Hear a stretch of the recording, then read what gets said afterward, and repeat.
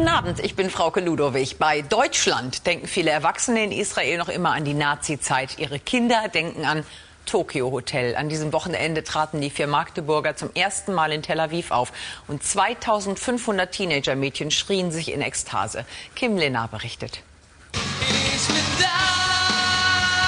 Und darüber scheint Bill Kaulitz selbst ein wenig überrascht zu sein. Tokyo Hotel geben ihr erstes Konzert in Tel Aviv auf Wunsch der Fans. Für uns war das sehr, sehr äh, überraschend, ja, dass, wirklich, dass es überhaupt Fans in Israel gibt, dass wir irgendwie, dass die sich wünschen, dass wir rüberkommen und so weiter, dass sie sich alle zusammenschließen und das unbedingt möchten. Über 5000 Fans hatten eine Petition unterschrieben, um die Band ins Heilige Land zu holen. Die israelische Botschaft lud die vier Jungs daraufhin ein, zur offenkundigen Freude der Fans.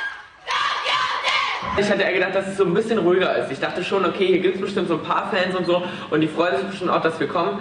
Ähm, aber dass sie jetzt so wahnsinnig ausrasten und sich so freuen und irgendwie die ganze Nacht vorm Fenster stehen und da singen und so und irgendwie auch hier vor der Halle schon so lange stehen und so, das hätte ich jetzt nicht erwartet.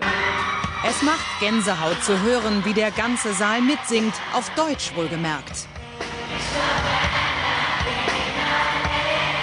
Heute ist es scheißegal, was euch passiert ist, ruft Bill zu Beginn in die Menge. Man muss wohl 18 Jahre alt sein, um so mit Judenverfolgung und Nazizeit umgehen zu können. Es wird klar, das hier ist eine neue Generation, vor und auf der Bühne dass sie, dass sie Deutsch gesungen haben und dass sie echt da standen und diesen ganzen deutschen Text konnten. Ich glaube, das zeigt einfach nur, dass es bei Musik wirklich um Emotionen geht und nicht äh, um irgendwas anderes. Also da sind überhaupt keine Vorurteile oder irgendwas, sondern das ist, glaube ich, total unbelastet. Vor der Abreise ging die Band noch sichtlich beeindruckt auf Sightseeing-Tour. Die Reise nach Israel war unvergesslich, sagt Bill. Und wer hätte gedacht, dass es Tokyo Hotel sein würden, die der Jugend in Israel ein neues Bild von Deutschland geben würden.